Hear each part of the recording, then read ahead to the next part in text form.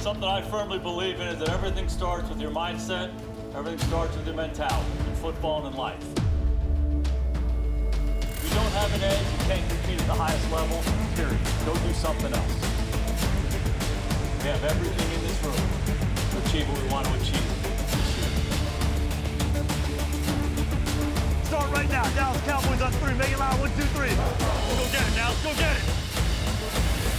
It's time for another Dallas Cowboys season and time for another season of the Jason Garrett Show, powered by Reliant Energy. Bill Jones alongside Cowboys head coach Jason Garrett inside the Academy Sports and Outdoor Studios here at the Star in Frisco as we get you set for the Cowboys and the Carolina Panthers. It's a 325 kickoff in Charlotte on Sunday, and I bet everybody is just chomping at the bit to get the, this real thing going on Sunday. You know, I think that's a perfect description, chomping at the bit. You know, we've, we've had a really good uh, off season. The players have worked hard to lay the foundation both in the offseason program and training camp, but there's nothing like the start of the regular season. So good practices this week. Excited about this opportunity against the Panthers. And we got a little bit of a glimpse during the preseason of what this team might be all about, but we didn't see Ezekiel Elliott in the preseason. I, when you're talking about players who are chomping at the bit, I would think Zeke would be at the top of the list. Yeah, no question. Zeke's had a great offseason and a great training camp, and we just thought it was best to keep him out of the preseason games you know, even a couple years ago, we only played, you know, one or two series uh, as a rookie. So, you know, the guys who get the ball so much during the season, you want to minimize the pounding they take uh, in the preseason. But he's practiced well. I think mentally he's ready, physically he's ready. Uh, it'll be exciting to see him out there against the Panthers. A growing trend in the NFL has been to rest the starters or not risk injury to the starters uh, during the preseason. We haven't seen that first unit out there in, in a couple of weeks now. As far as getting on the same page, for Dak Prescott with a new set of receivers. Uh, doing it in practice, I think, is, is, uh, is sufficient. Yeah, you know, one of the challenges is the new guys, you know, whether we drafted them like Michael Gallup or, or we, they came from other teams, Tavon or Deonte or Allen Hurns, you know, just time on task. Obviously, he's played a lot of football with Cole Beasley and Terrence Williams. Uh, but you want to see those guys out on the practice field together. Uh, you know, Deonte was injured for a lot of training camps, so they don't have that much practice time together. But he's worked a lot with the other guys, and uh, you know they've done a great job just finding time and opportunity and, and communicating so they can get on the same page. And uh, we're always a work in progress. They've worked very hard to get to this point. Again, we're excited to see those guys play youngest team in the league. Just two players have celebrated their 30th birthday, Sean Lee and LP Ladouceur, the long snapper. As you approach a season opener like this with a young team, anything that you do different with young players to make sure that they are at their best come Sunday? Well, you know, we're fortunate that we have a lot of young players who have been with us who are really good players. You know, you mentioned Zeke Elliott, Dak Prescott, you know, the guys on our offensive line. You think about Tyron and, and, and Zack Martin. Those guys have been really, really good players for us, and they're still not that old. And, and similarly on defense, when you talk about Demarcus Lawrence and you know, even Tyrone Crawford, some of the guys who have been around here who are still very much in their 20s. Uh, so those guys set the pace for everybody else. But we do have some new players. We have some rookies who'll be playing. We'll have some second-year players who are playing. Uh, the thing we try to do more than anything else is prepare them as best we can in practice and try to help them carry that practice work into the game. They played a lot of football in their life. They just have to make sure we go about it the right way in terms of our approach. And when it's time to cut it loose, go get it. Uh, you look at the reviews from the Oxnard portion of training camp and preseason games. The defense looks to be in, in, we look to be in regular season form back there. One of the ways that I think you can look at this defense, it seems like a group that will fly to the football. No question, and, that, and that's really what we want to be. I mean, that's line one. We're an effort-based defense. We're physical. We'll sprint to the ball. Uh, we're going to 11 hats to every tackle. Uh, hopefully, we're going to be a team that takes the ball away. All those things are part of the, the mantra that we have uh, on our defense. Rod Marinelli preaches it every day. Kris Richard coming in. We all believe in the same thing. So, uh, as you keep building the talent of the defense, maybe you see that more and more and more. But that's the DNA of the team. We want it to jump off the tape. And uh, I think we saw glimpses of that in the preseason. We've got to carry that into the regular season. All right, a little bit later here on the Jason Garrett Show, we'll dive into these Carolina Panthers and some of the matchups you can expect on Sunday. But up next, it's David Moore, the Dallas Morning News. The Jason Garrett Show, presented by Reliant, is brought to you by AT&T. More for your thing, that's our thing. Ford, Ford is the best in Texas. The University of North Texas, proud partner of the Dallas Cowboys. And by Reliant, an NRG company. This segment is brought to you by the Dallas Morning News.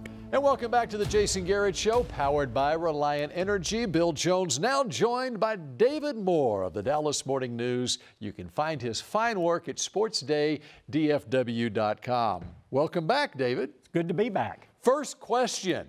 Are you more shocked that Dan Bailey got cut or that you didn't get cut from the Jason Garrett Show? well, it was it was nip and tuck since I since I had no clue that Dan Bailey was going to get cut, and I'm constantly surprised I'm invited back. Each week. I would say I'm actually a bigger surprise than this. One. All right, uh, as far as this team is concerned, what is the uh, biggest concern Cowboys fans should have about this team? I don't, I don't know why. I mean, you, you always put health, so I think that, that goes for every team. All right, so let's throw out cop out. So All let's right, throw yeah, that out. yeah.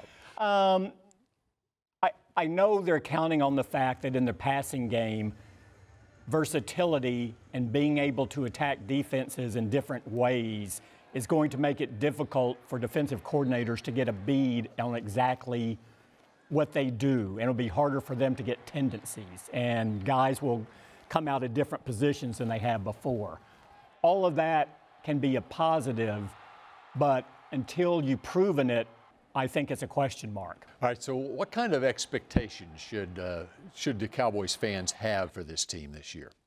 Well, I think they should be high. I, I know a lot of times when, whenever you look at a team, you, you, in a particular market, a lot of times I think people tend to focus on their warts and give them more weight than all of the positives that they have going.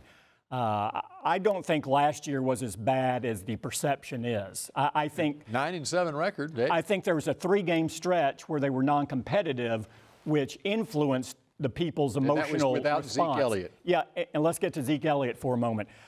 This team with Ezekiel Elliott, when he plays, is 19 and six over the last two years. When he doesn't play, they're three and four. I, I recognize the questions surrounding this team, and they're valid, but I don't think people should underestimate how good Ezekiel Elliott is, how accomplished Dak Prescott is eh, as a third year quarterback, uh, how good this offensive line is.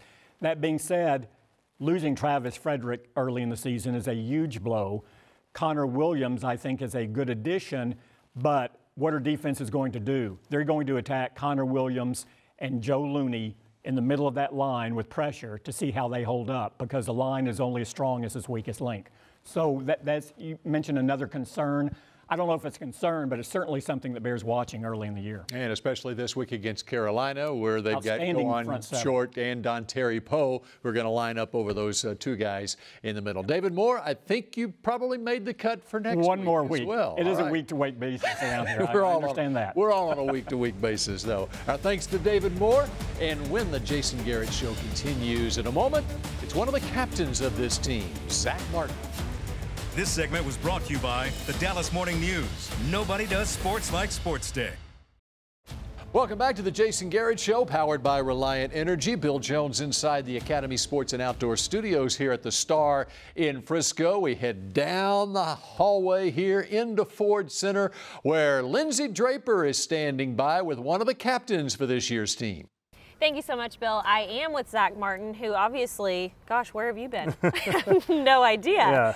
Uh, out in some hot practices this week, but it is week one. It's Yep. exciting, finally getting ready for a real game. What Yep. was, let's go back, what was this offseason about for you, bringing you to this point now? Yeah, you know, it was a good off season, a lot of hard work. Um, you know, we were a very close team, and you know, the off season spent, you know, growing those relationships as a team, and then in into training camp, getting those good reps and just coming closer. And um, you know, we're just really excited for the season. And congratulations on becoming a team captain. That's Thank you. very exciting. Yep. And the average age of this team is about 25 years old. Right. So not only is all of that new, but now you've really been elevated into a Right. role that um, leads this team. What does all that mean? Yeah, no, it's a fun team to be a part of. You know, we're, we're young, but um, you know, we have a lot of we have guys with a lot of experience. Um, you know, it's it's awesome being with a bunch of young guys. They're, they come every day, very motivated, uh, with a lot of energy, and it really it really pushes the group up. So um, it's a really fun team to be part of. you know better than all of us. Ezekiel Elliott, Joe Looney, Dak Prescott, the changes that have happened, but you you feel like that they're going to be absolutely ready. Oh, absolutely. I think I've um, uh, mentioned this week that, that Joe's done a great job over the last few years, really picking Travis's ear and our brain, and um, you know doing exactly what he does. So um, you know, obviously you're not going to replace a guy like Travis Frederick, but uh, you know Joe's doing a really really good job uh, of, of doing exactly what what Travis kind of taught him. And you mentioned earlier this week that this team, this offense, wants to get back to running the ball like they did a couple years ago. How exactly do you make that happen? Well, I think you got to execute first and foremost. Um, you know, we, have had we have experience with each other on the line. You know, obviously Connor's new, but he, he's gelled kind of from the start. So, um, you know, it's really a lot on us executing and, and, getting Zeke some holes so he can make us make us look good. Mm-hmm. okay, let's talk about Carolina. Yep. Week one, obviously they've got a they've been working on that defensive front. What mm-hmm. has that kind of been like game planning for them? Yeah, you know they're re- really talented up front. Um, you know, got a lot, lot, of experience there with Short and and Poe, and then obviously uh, you know Kuechly in the middle. It's kind of like their Sean Lee and um, makes a ton of plays. So we're gonna have a work cut out for us, but uh, you know it's a great way to start the season uh, in Carolina against a great football team. Okay, so you have said, and I just, if anyone's watching the show, I want them to hear it straight from you. You feel healthy, you feel ready to go? Yep, yep, feel great. 100%. 100%. Right yep. there. You heard it from Zack Martin. Thank you so much for taking the time to join us. You Thank may you. go shower now. Thank Bill, you. back to you. All right, thanks, Lindsay and Zack. And up next here on the Jason Garrett Show, the head coach returns. Plus, we break out the telestrator with Will McClay. Welcome back to the Jason Garrett Show. Bill Jones now joined by Will McClay as we got the telestrator out. We're going to break down this Carolina offense starting with Cam Newton. Yeah, an explosive offense. So we're going to take a look at Cam Newton. He's a quarterback that makes the defense count for 11 players. A lot of guys that don't, especially in the run game. But here you'll see it set up offensively. They got one defense. They one, two, three, four, five, six guys. This guy is going toward the middle of the field. So they have numbers over here. Now on this side, you got one, two, three, four. You got one, two, three, four to account for those guys. Then you have the back. So everybody's accounted for. What they're doing is the quarterback and the safety are going to be one on one. Run action. You'll see it here. They're going to double team, slide down, fake it. He's got the back. You got to have your pitch options, and now it's the quarterback on the safety. And he will make a guy miss. He will like make a guy there. miss. We have to be disciplined in our run fits up front. And of course, Carolina also has a tight end who's been to the Pro Bowl multiple times, the veteran Greg Olsen. Yes, big part of this offense. They missed him because of injury last year. But what happens is he's the quarterback security blanket. He's got he's 6'5", he runs a 4'5", 4'6". He's a matchup problem. They're going to see one-on-one again. They're going to see one-on-one coverage. Looks like they're going to bring pressure. Now the safety's leaning over here. Sees the safety over there. Uh, Olsen's going to run a route into space, and you're going to get a throw from the quarterback to exploit that. We'll see it right here. And Cam's not a great accurate thrower, but what happens is you give him those clean looks and guys to catch the ball. He's throwing a dart in the middle of the field with space. Again, a big play for them, and what we have to do is limit those big plays. Greg Olsen, an athletic tight end. Will McClay, we appreciate it. Let's hear from Carolina head coach Ron Rivera. And they got a lot of young guys, new faces at different positions. Um, but I will say this in 2015, we had a bunch of new faces too. So, I, again, I, I, think what you've got to do is you've, you've got to try to figure it out very quickly and make sure you're making adjustments to, to, to handle it. I mean, I know what we have going in. Um, you know, my question will be how will we adjust if certain things start to happen? And we welcome the head coach back to the Jason Garrett Show, powered by Reliant Energy, as we take a look at these uh, Carolina Panthers and uh, some changes on their coaching staff as well, as your old friend Norv Turner is now the offensive coordinator of the Panthers. Yeah, you know, Norv has been such a great coach in this league for a long time, was the coordinator for those Super Bowl teams in the early 90s with us. That's when I first met him, and he's been uh, certainly a great friend to me, a mentor to me. And you know, if you look at his career and the different stops he's made, you know, the guys who who play for him typically play some have some of their best years under his tutelage. And uh, you know, uh, it'll be interesting to see what he does with Cam Newton and with McCaffrey, a couple of the weapons the Carolina Panthers have. But uh, enormous respect for Norv. He's been a great coach for a long time. Yeah, been the first game. You have no track record on exactly what effect he's going to have on Cam Newton. But in general, when you're facing a quarterback like Cam Newton, what is it that you have to watch out for? Well, you have to watch out for a lot of stuff. Uh, you know, he's, he's someone who is big, he's strong, he's athletic. Uh, he's got a great stature when he's in the pocket. He's got a strong arm, can throw it anywhere. Uh, I think the thing that separates him is the ability to run on top of that. You know, he's a threat throwing the ball, but he's a threat running the ball on design runs, but also when the play breaks down. And, and, and he beats you w- with his feet, running for first downs and making big plays, but also getting out of the pocket and throwing the ball down the field. So he's an outstanding player. He certainly is the key player for their offense and has been for a long, long time. What kind of a stress does uh, Chris McCa- Christian McCaffrey put on a defense? He had uh, 80 catches last year yeah, in the backfield. again, a really good player. And sometimes people think that he's just a receiver out of the backfield. He's not.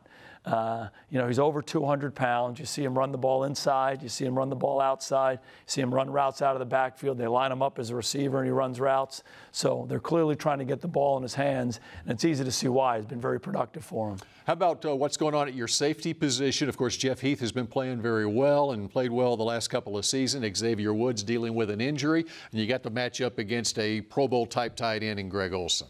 Yeah, again, uh, Olsen adds to the to the to the weapons that they have. And he's been a really good player for a long time. And, you know, our safeties and our linebackers, you know, we have to be on top of that matchup because he can threaten you down the field in the seams. You know, we anticipate Kavon Frazier being healthy and playing a lot for us this week, but that'll be one of the challenges they present to us.